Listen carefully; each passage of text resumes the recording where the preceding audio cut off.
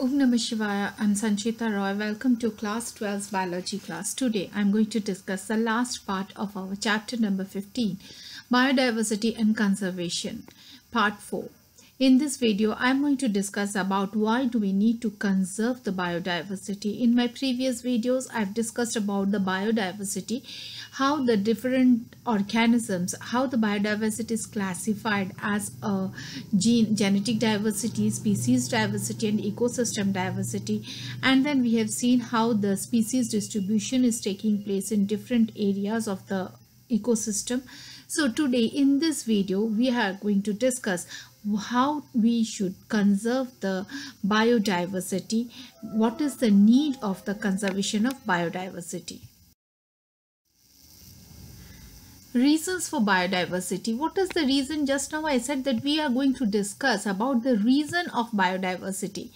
We will see that we are dependent upon the biodiversity directly or indirectly for many of the things. From day to day from our day to day life what are there we are organisms which are interdependent upon different other factors.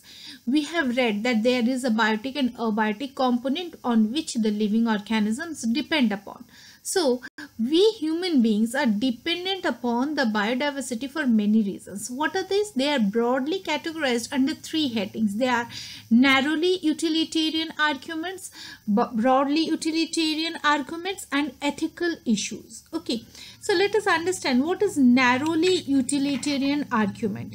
Humans derive several direct economic benefits from nature such as food. We are dependent upon the uh, biodiversity for food. We obtain different types of food items from different types of plants. The different parts of the plants are consumed by us in the form of cereals, pulses, fruits, vegetables we take it from the different types of plants we depend upon the plants for the firewood for fiber the clothes we are wearing we depend for that. Construction material. Our houses are built up of wooden materials. So we are dependent upon the forest trees for making our furnitures industrial products like tannins lubricants we are traveling from one place to another by a vehicle. It is containing wheels. The wheels are made up of what? They are made up of resin. They are made up of rubber. From where do we get? We get it from the plants. Okay. We depend upon the perfume. So number of innumerable things are obtained from the different types of plants and animals and which are utilized by us and the products of medicinal utilities. We are dependent upon different microorganisms also for obtaining our medicines we have read about the how the microorganisms are used for making antibiotics yes they are harmful to us at the same time we are dependent upon those type of microorganisms also for making our medicines. So human beings are widely dependent upon different groups of organisms. So it is very important to have the biodiversity. More than 25% of the drugs sold today are derived from the plants and about 25,000 species of plants are used by native people as traditional medicines. You go to the forest. When we go to the deep forest, there are certain tribes living over there. Do they need medicines like us? No, they do not need every now and then the way we consume medicines. They do not take medicines. But don't they feel sick? Yes, they do not feel, fall sick like us first of all why they do not fall because their immunity power is much more stronger than us and at the same time they are not exposed too much uh, to the harmful uh, pollutions. Okay now what is happening? Many of the diseases which human beings are suffering they are because of our lifestyle disorders. Because of the excessive pollution level in our environment many people are suffering from asthma why people are suffering from asthma? Because of the huge amount of pollution. People are suffering from lung cancers. Why it is because? Because of the different pollutions. Because they are working in such an environment. Suppose they are working in an asbestos factory. Asbestos industries. They are working in different chemical industries those harmful gases can cause different types of mutations in the human body so people living in urban areas are much more susceptible to different types of diseases compared to the people who are living in the tribal region But how these people treat themselves?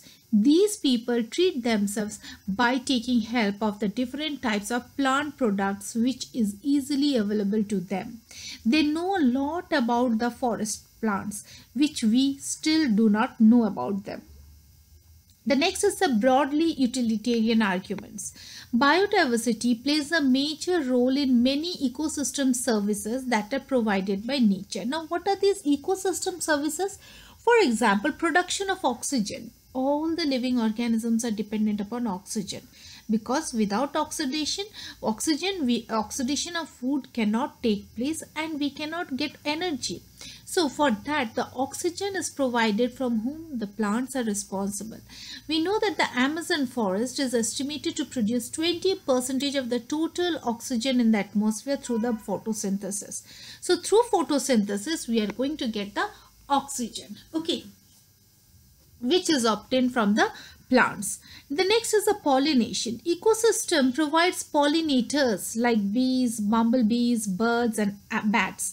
Einstein has said that if the bees go all the bees die due to becomes extinct then what happen what will happen? Human beings will become extinct very soon. Why it is being said like that? Because the bees play a very important and vital role in the process of pollination. Without pollination plants cannot reproduce. It is not feasible by the human beings to perform the pollination so huge amount of bees are helping in the process of pollination due to which we are obtaining all the different types of plants products. Okay. So pollinators there are different types of pollinators other than bees bumblebees birds. There are all these birds and bats they are also helping in pollination. So if these groups of animals becomes extinct then automatically it will cause a major harm in the nature Aesthetic pleasures like walking through the thick woods, watching spring flowers in full bloom or waking up in a koel or a bulbul song in the morning. Aesthetic pleasure. pleasure. The biodiversity gives us an aesthetic pleasure. Suppose when you are very much tired of hectic schedule for a long time, then what you plan to do? You plan to do for going for a park, visiting a park, walking through the woods, or if you are working for a long few months, then what happens? We try to go to the hills to be in the beautiful serene weather, uh, environment. Okay why it is important? That aesthetic sense gives us a pleasure to us. And we can rejuvenate and we can start doing our work again with full enthusiasm. So the biodiversity is very important and vital. If you go to the hills and if you find only one kind of plant will you be able will you feel happy? No. When we see different varieties of plants flowers and when the different plants are there obviously there will be different groups of animals also surviving over there so we can get a glimpse of all those things. The next is the last is the ethical issues. Ethical issues means every species has an intrinsic value even if it may not be a current or any economic value to us. Might be it is not important for us, but it is important for the ecosystem to continue. As we have seen that there are approximately 20,000 species of ant are ants helpful to us? No, directly we know that ants are not helpful for us. When ants attack to our food items, we get very irritated. If it comes into our body, if it uh, we get irritated. It is not, but they are also important for to the ecosystem because they they play an important role in the food chain and in the food web. We have a moral duty to care for their well-being and pass on our biological legacy in good order to the future generations. It becomes our duty to preserve the biodiversity so our future generation can also enjoy it. Clear? So these are the three main reasons why we should conserve the biodiversity. Now, what are the different biodiversity conservation methods? If we see that the biodiversity conservation method can be broadly categorized into two types that is in situ and ex situ. In situ means protected area network where we are going to protect them in a protected area where human beings have intervened and they have tried to give a protection. There is a boundary made out of it. So what are these protected area network? They can be national parks or wildlife sanctuaries. Might be you people have visited national parks or wildlife sanctuaries in your past experiences. As well as biosphere reserves sacred groves and sacred lakes. What is their sacred groves and sacred lakes? What is there whenever we say something sacred then we try to conserve it so we have marked some of the areas, some of the lakes that these are sacred. In that way, what we are able capable of, we are capable of conserving those animals or the biodiversity in that particular area. Biosphere reserves can be terrestrial as well as can be marine. In ex situ, ex situ means it is very much, um, it is done by the human beings that the botanical gardens, arboreta, zoological gardens and aquaria. These are the areas where we are conserving the plants, the fauna and the flora. The seed banks, the field gene banks, cryopreservation, sacred plants, home gardens. So these are the different ways by which we are doing the ex situ. In situ means the animals are plants are grown in the natural way that they are allowed to grow. They are already they were already present in the in those areas. Now the government of those particular countries they have made a boundary to these areas and they have imposed certain rules and regulations where human beings common human beings cannot go and destroy them. Okay now in situ conservation includes protection of the species in their natural habitat. Biodiversity hotspots. What are these regions? These are the regions with the high levels of species richness that means different species are present in a high number and high degree of endemism. Endemism means what? It is the species confined to that region and not found anywhere else. That they are present only those part of the country, the uh, part of the world and they cannot be found in the other ways, other places. Clear? In a natural way. For example, the, the penguins, we know that the penguins are basically present in the Antarctica. But yes, in some of the countries they are seen. But where they are seen, they are seen in the zoological gardens. Okay, not in a natural condition. The total number of biodiversity hotspots in the world are 34 the 34 country sorry 34 countries are having the biodiversity spots. These biodiversity spots are what? These are the hot spots where the number of species diversity is maximum. These hotspots are regions are of uh, accelerated habitat loss. What is happening? These are basically forest region and what is going to happen? These regions are very much getting vulnerable by the human activity. Human beings are cutting down the forest rapidly. As a result, the forest land is decreasing massively. Okay, for that region reason what is that these biodiversity hotspots has been marked and the governments of those countries are responsible for taking care to conserve those areas.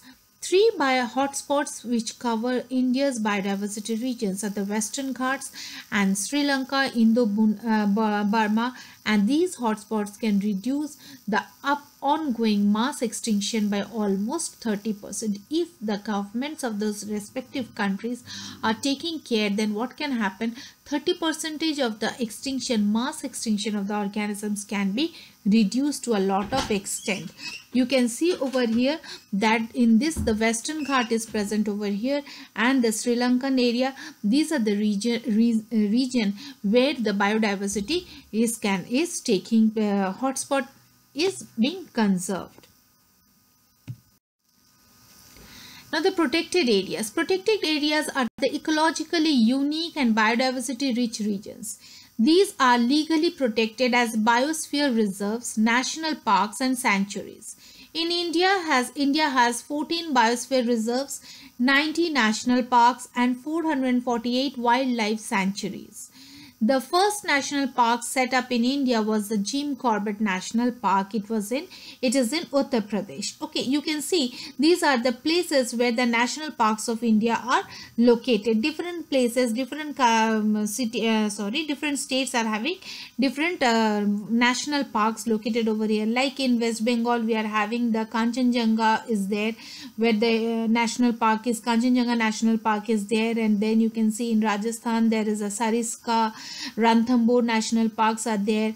So there are different, um, uh, there are uh, 90 national parks located in the different parts of our country which are responsible for conserving the conserving the animals as well as that is both it is responsible for conserving both fauna and flora and it is also responsible for conserving the landscape and the historical objects if they are located in those areas clear and these are the biosphere. They are protecting the animals as well as they're protecting the other ecosystems present over there. Sacred groves. Sacred groves are what? These are the areas which are set aside for all the what are there? All the trees and the wild animals within are venerated and given total protection. Sacred groves are divided in, in, different states. There are different number of sacred groves. These are smaller areas, not bigger areas like the national park or the wildlife sanctuaries. These are the smaller areas. In that smaller area, what is there? The trees or the animals which are present over there, they are referred as sacred so that people do not cause harm to those animals. In that way, what can be done? We can conserve the biodiversity. What are that? They are given lot of protection people whenever we talk about that, that it is a sacred area what happens we human beings have a instinct that we do not try to cause harm to those areas. So in that manner there are certain sacred groves there are different areas which are marked as sacred groves so that human beings will protect those areas as a result the biodiversity can be maintained some of the sacred groves of, India are in the Western Ghat regions of Karnataka and Maharashtra. Khasi and Jaintia hills in the Meghalaya. In the Meghalaya region, we can see them. Aravalli hills of the Rajasthan. In the Aravalli hills of Rajasthan, there are sacred areas. Sur, um, Surguja, Chanda and Bastar areas of Madhya Pradesh actually it is present in all over India. These are few of the examples which has been cited over here. Okay. Ex situ conservation. Ex situ conservation means involved place, placing of threatened animals and plants in the special care units for their protection.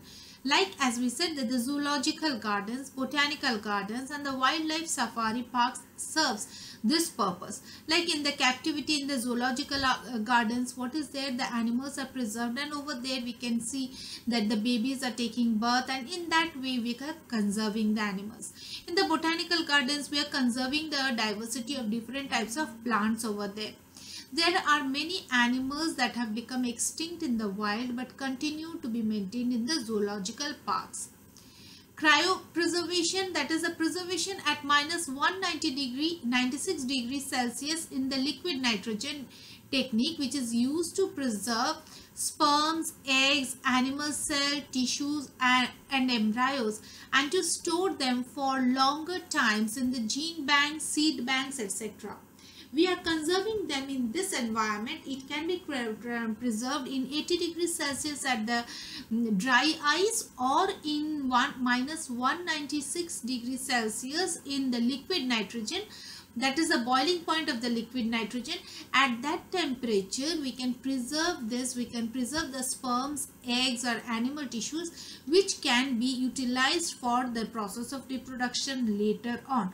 So in this way also we are doing ex situ conservation in vitro propagation of plants is carried out by applying tissue culture method. We have read about tissue culture in the previous classes also. So by that process also we can uh, conserve the biodiversity to a certain extent. Like this over here you can see the greenhouse effect is helping in conserving the different types of flora over here. Conservation of biodiversity. The conservation of biodiversity is a collective responsibility of all the nations. It is not a responsibility of any one individual person. It is as it is said it is the responsibility of all the nations. It means from the nation it refers to each and every individual of the world of the, mm, the nations. Okay. It is not that that I, it is not i am not responsible or you are not responsible. No each of us are responsible from our contribution. We can help in the conservation of biodiversity. You might say how can you help? Or i help. Yes if we can reduce the wastage of paper to a certain extent then what we can do we can help in the conservation of biodiversity. How? Because paper is obtained from plants. From the plant pulp it has been obtained. So if we can reduce the wastage of paper we can help in preventing the biodiversity. When we go for a sightseeing suppose you go to the sea beach. If you go to the mountains when we are throwing plastics here and there we can prevent the protect the biodiversity. How you will we can protect when we are throwing the plastic those plastic can be responsible for causing the death of some other animals. There are different aquatic animals. They consume those plastic. They cannot digest and they can die. Every one of us are having facebook. Many times these type of pictures comes when we see that because of the human activity we throw the plastic bottles in the water body we throw the plastics into the water body and we are responsible for killing the biodiversity destroying the biodiversity. You will see you will say now that uh, for me the species extinction is not taking place. No.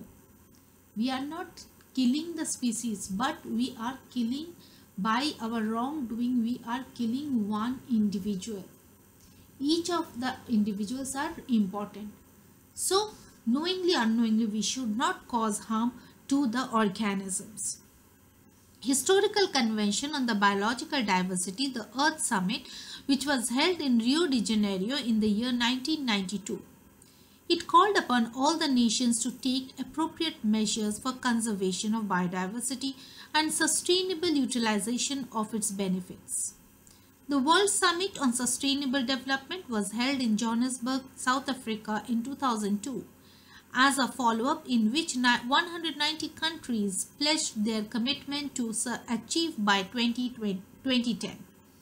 As a result, a significant reduction in the current rate of biodiversity loss at the global, regional and the local levels has been achieved. To a certain extent, conservation could be achieved by the when all the nations have come forward. So every nation has to come forward and every individual has to play their important role for conserving the biodiversity. It is not the work of the government alone, it is the work of each and every citizen of our country and each and every citizen or each and every individual surviving on the earth. The red list, the International Union of Conservation of Nature maintains a documented called Red List or Red Data Book of taxa that are facing the risk of extinction. There are different red data books available for flora, fauna, for the different other species, for the bacteria, for the protista, the red data book is an information which gives us information about the extinct, extinct in the wild, critically endangered, endangered animals are enlisted in the red data book. Extinct animals are what? With no individuals remaining like the Javan tiger, Dodo and the woolly mammoth. Extinction in the wild only surviving in the captivity or in locations outside its historical range example hawaiian crow uh, Socorro dove. So these are the examples of extinction in the wild. They are extinct in the wild but they are conserved in the captivity like in the zoological gardens. Critically endangered extremely high risk of extinction in the wild. If they are left like that without taking care they can soon become extinct in the wild in the in their habitat. Endangered high risk of extinction in the wild Vulnerable animals, high risk of endangered in the wild African elephant, cheetah, polar bear, these are vulnerable. Near threatened, likely to become endangered in the near future. example is the american bison jaguar okapi and the tiger shark. So these are the different types of animals and you must know that what does that endangered means what vulnerable means. For one marks question or uh, even for the one mark questions like in uh, multiple choice question or like in other match the followings these uh, points are very important. You must know it properly so you must make a note of it least concern least concern lowest risk. These organisms are having the lowest risk. No immediate threat to survive. Example giraffe their numbers are huge enough. Giraffe numbers are available on the earth. Brown bear, bear gray wolf house mouse emperor penguin and the human beings. We are not in a risk of becoming extinct right now. Out of these four categories of species are included under threatened species critically endangered endangered, uh, critically endangered, endangered, vulnerable and low risk species. Two more categories are also added to these.